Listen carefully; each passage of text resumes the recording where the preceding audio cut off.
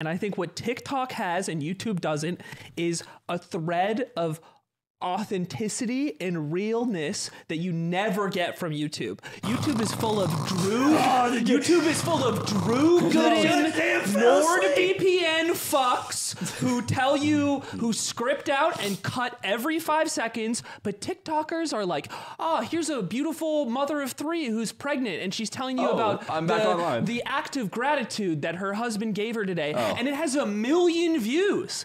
Isn't that beautiful? Is that really brain rot? Sure? Or, or do you need or do you need Drew to tell you why why your finger's gonna get cut by the by the Tesla Roadster? He's walked right into my trap. The judge is wondering if you are sure she has a husband.